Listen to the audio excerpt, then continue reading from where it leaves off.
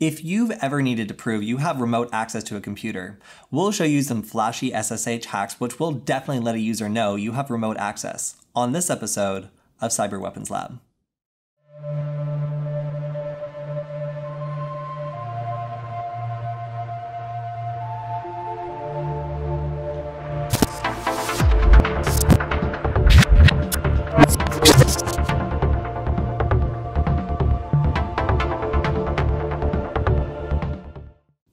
When we're usually talking about SSH access to a computer, we're talking about backdoor access that the user has virtually no way of knowing what's going on, and that's an advantage for a hacker looking to do a bunch of bad things clandestinely. Now, there might be some circumstances where we actually want the user to know that we have backdoor access, and that could be like a penetration tester who needs to let the client know, and that client might not be very tech savvy, that they actually have gotten access to this box and they need to fix something. Now, a client might not understand the implications of just encrypting a single file or doing something that's not that malicious. So instead, we can stay away from doing anything super malicious and instead use our access to play a couple pranks that might make someone who doesn't know a lot about computers think that their computer is actually haunted. Now, in order to do this, we'll simply have to have another computer on the network that we know the credentials to and that has an SSH server running. And we can do that with a DuckyScript payload or maybe with some malware that has that as the end stage. Now, we also need to be on the same network. And this is important because if we're going to be doing this over the internet, we would need to do some port forwarding on our router or something like that. So for now, we're just going to cover doing this on the same network as the device you want to access remotely. Now also make sure you have permission to do this because if you do it against someone who doesn't know what's going on, they're probably going to think this is much more serious than it really is, and you could get in a lot of trouble doing this against someone who doesn't want you on their box running a bunch of remote commands. Now, if you get confused while you're doing this, you can also check out the Nullbyte article linked in the description, because it'll probably help you if you get snagged. Once you have a computer on the same network with a SSH server ready to go, and this is a Unix computer, so it can be Mac OS or Linux, then we're ready to begin. Now today our goal is a little bit different than usual, where we would be trying to be stealthy and go undetected. Instead, we want to prove beyond a reasonable doubt that we have remote access to this computer to someone who might not be very tech savvy or otherwise just do a bunch of spooky remote stuff to a computer that we have SSH access to. Now, first step obviously is going to be to log into this computer. So in this case, I have remote access to a computer at 192.168.0.16.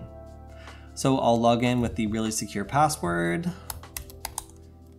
and we should be logged into Ubuntu. And now we can start to have some fun. But first, there's a couple things we need to do in order to make our interaction less subtle with the computer. So normally the beauty of SSH is we're logged into kind of like a back door and the user has no idea what we're doing because there's no real opportunity for them to see any of this sort of stuff that we're doing. Even if we were going to launch a terminal, by default, it would be forwarding a graphical X window, meaning a Firefox window would pop up on our end rather than on theirs. Now, in order to change this, we need to modify a couple things in order to make sure that we're exporting all of the graphical stuff we're calling to the display rather than back to our SSH window. So first we're going to export display and then equals colon 0 dot 0. All right, now we should also be recording on our other uh, device. So let's go ahead and just launch something really simple and see if we can make it just pop up really fast. So if we type, uh, let's say xterm, let's see if we can launch. There we go. All right, so even that is probably enough to spook someone. But let's go ahead and start taking it a little bit further with some audio effects and also some video effects. So on our attacker computer, uh, let's go ahead and type sudo modprobe uh, pcspkr. And that is going to allow us to actually modify the speaker and start putting out some interesting sounds. So we can type in the password again. And now we have the ability to start, start making some beeping sounds and some other noises. Now, all right, one of the first things we can do is use the built-in speak to just say something that might alarm a user. Uh, let's say,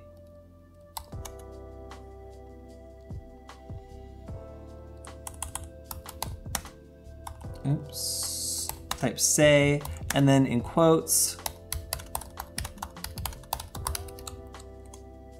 you have been hacked. All right, so that's that's already something that might cause someone to run into the room thinking someone else is there. But that voice isn't the only voice that the computer can do.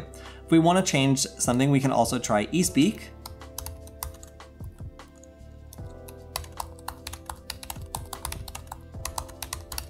And try another string to see if it sounds more realistic. You have been hacked big time. Personally, I like eSpeak a little bit better than Say. It sounds a little bit less demonic, but in general, either these are enough to make someone immediately think there's someone else in the room or not understand where that voice is coming from uh, in their computer box. So you can make it say all sorts of hilarious things, obviously, after you do the sudo mob probe PC speaker command, but uh, keep in mind that there's even more stuff you can do, and making the computer talk isn't necessarily the most fun way to interact with your target.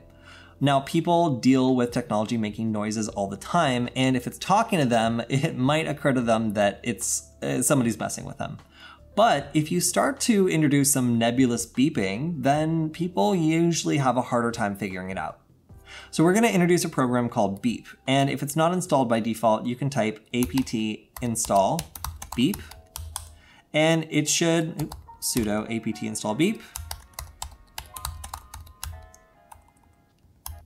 And I like Beep a lot because it's capable of making all sorts of random annoying noises. Now, if you type man beep, which is a great command, then you can see that there's a general syntax for you can define the length of the beep, the frequency of the beep. There's so many different types of beeps you can generate. But in general, I like to combine these beeps with different things. So here we, let's just do a really simple example.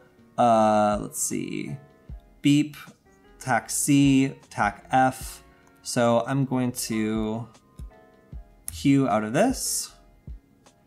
All right, now we're gonna go ahead and paste the beep command, and I'm just going to set the frequency to 400 megahertz, uh, the duration to uh, 50 milliseconds, I think, and then the length to 10 milliseconds. And let's see what that sounds like. Very subtle. Let's increase the length a little bit and maybe make it a little higher. See what that sounds like. Uh, and maybe increase the duration. Okay, so now we have a beep. Now, this beep can drive people crazy. We can really make them uh, think that something is very wrong with their computer, depending on the way that we use it. So if we want to do something like have a series of beeps, there's even different ways that we can, let's see if we can do a tac R2. Now we can start repeating the beep. So let's say, let's drop this down to a little bit lower of a noise and maybe make the repetition 10. Imagine if you're on your computer and it just started making this noise. It would be a little bit concerning, especially if you hadn't done anything to really warrant uh, getting warned by your computer that way. Well, imagine if it did it every 60 seconds. Well, one way that you can make a computer really start to exhibit signs of being seriously compromised is by installing a cron tab. So let's go to C-R-O-N-T-A-B and we'll type tac L and that'll list all the cron tabs that are currently there, if there are any, and you might see none here, but here you can see that I've created a malicious beep one that uh, is just commented out here. So to change that, we can type crontab tac E and then go down here and get rid of this uh, commented out section. So we'll go ahead and press Control X and Y to save. And now we've installed a cron tab, which every 60 seconds will start beeping uh, out of control uh, for 10, 10 different times at a frequency of 300.7, which is quite annoying and very concerning, uh, especially if you're just trying to go about your business and co your computer is persistently beeping at you. Now, we'll hear this in a second, but uh, what else can we do that's really going to be alarming to someone who doesn't know a lot about Oh, oh, something, oh, something's gone horribly wrong. All right.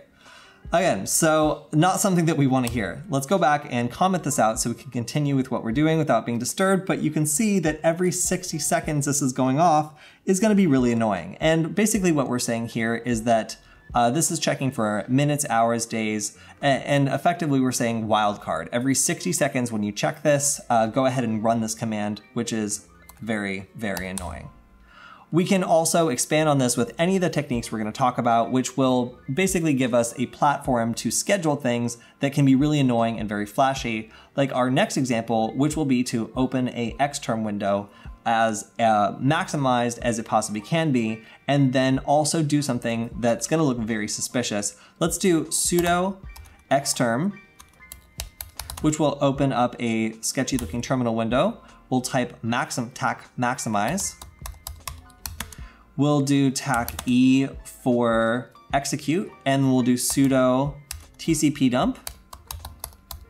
And what this is going to do is basically monitor the web traffic, but to somebody who doesn't understand technology, it's going to look like their system has been hacked big time. Let's try it. Fun. Oh, oh. So imagine if your computer was doing this suddenly and beeping furiously. You probably wouldn't like it, but we can make this even worse. So let's go ahead and do this. Let's uh, go ahead and cancel that. And then imagine that you're sitting at your computer and we want to make this happen 10 times. So basically, uh, we want to make it so the person is working on a normal program and all of a sudden these X terminal windows that are spewing a bunch of information about the internet just start popping up all over and messing with them.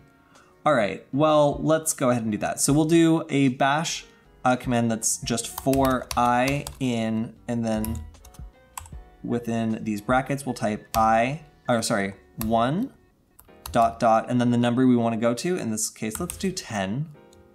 Uh, we'll say, we'll close this and type do, and we'll go ahead and do what we did before. We'll do a sudo xterm, maximize, all that fun stuff. And then at the end of this, we'll close it off with a semicolon and then type done. And if you don't type done, then it never knows when it's, what's done and it's very annoying. So, all right, pretend you're a user, you're on your computer, and then let's see if this works. Oops. So I'll need to go back and put one last semicolon right here. And let's see if this works. All right, so the user tries to exit out. They're, they don't like this, it's spooky, and they want it to go away. So they'll click out of the window. And there it is again. And again. And again, and again. There's really not much they can do. Uh, it's gonna go 10 times. You can make it 100 times. You can make this a bash uh, cron tab so that it just keeps happening every 60 seconds. It's very, very frustrating. And um, this can definitely start to get on someone's nerves, especially if when they're trying to do something and you start killing their processes. So if you want to kill processes, uh, let's say that we have somebody working on Firefox and they've opened up a window and they're trying to get something done. We can type top in order to get the process ID. And here we can see the process ID for Firefox is right there. I'll press Control C to stop it.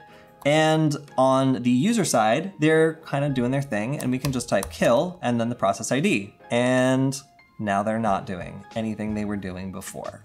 Annoying, very annoying. Uh, in fact, you can even do a cron tab that basically searches for a process that's running and kills it persistently, so they really can't do anything at all, which is very annoying. All right, so I've created one script that I think is pretty funny, and we can do the Rick Swarm or the beeps. Let's do the Rick Swarm because everybody loves the Rick Swarm. So just so you can see, the beeps is effectively, well, okay, they're too good. We have to do them. Okay, so another thing we can do is put up alarming warnings that basically really scare the person into thinking they've done something wrong. In this case, we're going to use uh, Whiptail, which is a way that we can display warnings in the terminal, and they really look quite serious when we do them in the right way.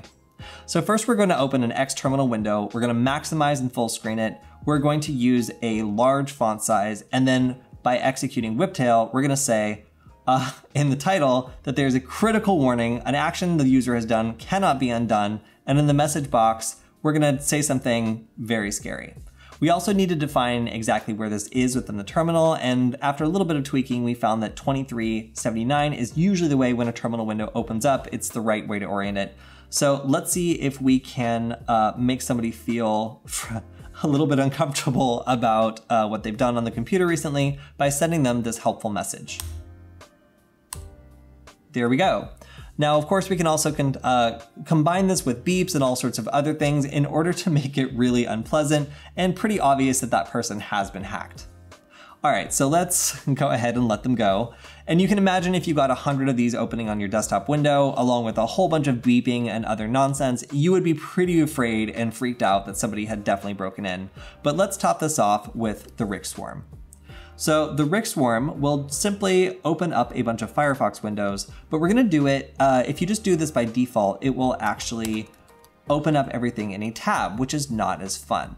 So for the coup de grace, we're going to take the Rick Swarm, which is for i in 1 to 10, do Firefox. We're going to specify we want to open in a new window, and then we're going to go to, of course, the Rickroll video.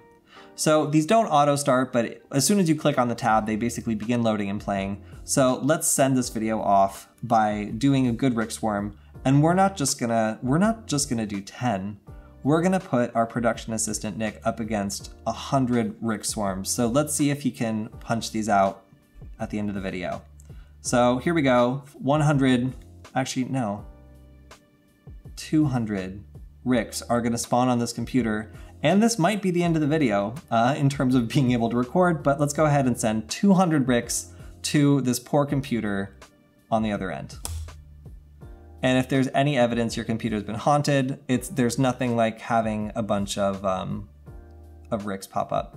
Now, once we get up to a certain number, Firefox might resist us and try to start uh, limiting the number of individual windows we can pop up. As you can see, we've now broken. Uh, we've broken the amount of bricks that we can pop up. So 200 might be a little ambitious. Let's go back down to 10 and see how those pan out without stressing this attack out too much.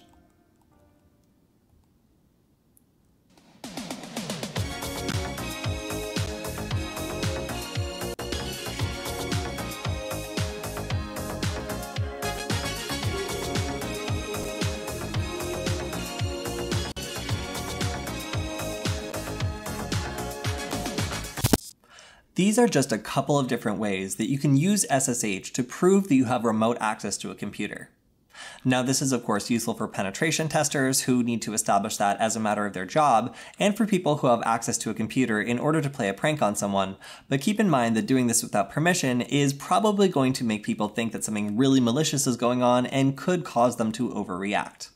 Now, while this is fun, make sure that you don't get caught doing this on a system that you don't have permission to access because it could result in legal fees, fines, and other sorts of nastiness, depending on where you do it and how seriously the person who owns a computer takes a sort of intrusion. That's all we have for this episode of Cyber Weapons Lab. If you have any problems while you're doing this or setting it up, you can check out the Nullbyte article linked in the description. And if you have any ideas for future episodes, send me a message on Twitter at Cody Kinsey, because I'd love to hear from you. We'll see you next time.